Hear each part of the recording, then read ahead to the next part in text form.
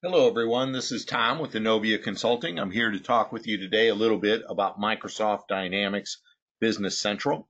Microsoft Dynamics Business Central is a great solution for those companies that might have outgrown their QuickBooks or Sage products, and they're really looking for a single solution to be able to run their business and continue to grow. Today, we're going to look just a little bit at the warehouse functionality that's built right into the Dynamics Business Central solution.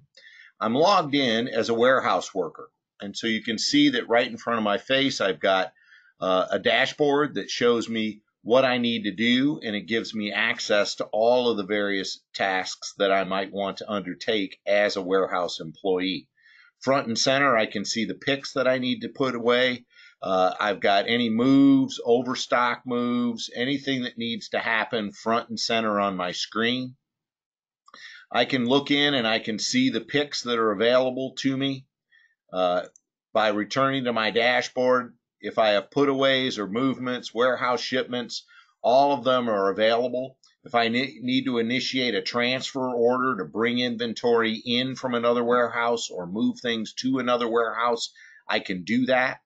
Assembly orders, or what a lot of people refer to as kitting, uh, is also uh, very commonly a warehouse function. So uh, items will be brought together and they're bundled before they're shipped out as end caps or other uh, quickly assembled items.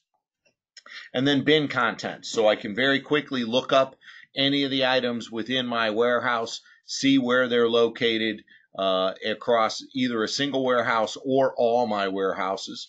Uh, I can set my warehouse locations uh, as a default. So if I have a default location, a default pick location, I can do that.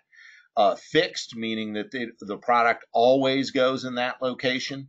Dedicated, and then uh, and then obviously floating. So if I if I do have floating bins and I just put the material the first place I find it, uh, we do support that as well.